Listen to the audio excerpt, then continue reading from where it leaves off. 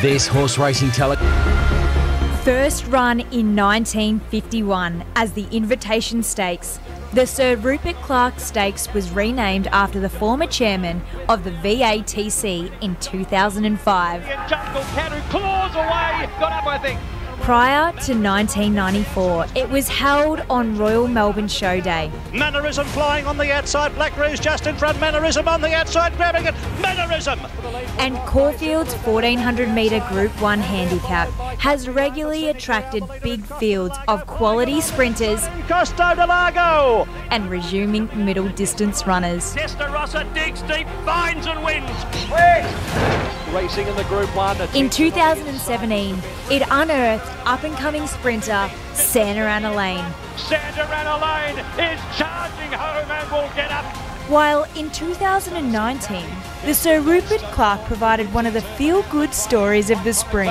Joined and headed by Be Good to Your Mother When straight of the Irish jockey. Declan Bates and young Warrnambool trainer Daniel Bowman each claimed their first Group 1.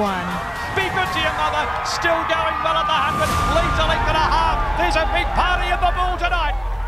He and Craig Williams have won six of these each. It's amazing. And Damien's incredible career as a Group 1 winning jockey started in this race with Submariner.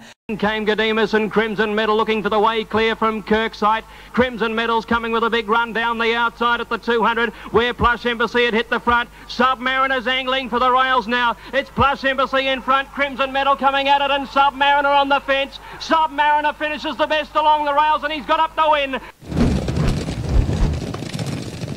Ollie's uh, got the record of 127. He took that when he won on Nimmerley here in the Queen of the Turf off the great George Moore. And as a youngster, uh, he announced himself, Lizzie, on the Bart Cummings train Submariner, getting up on the fence here. Yeah, back in 1990, and it was a masterful ride. He didn't didn't decided not to go around them. There wasn't a gap to go in between them, but he darted back to the fence, and it was a strong performance and your first Group One victory. And going on now, looking back with 127.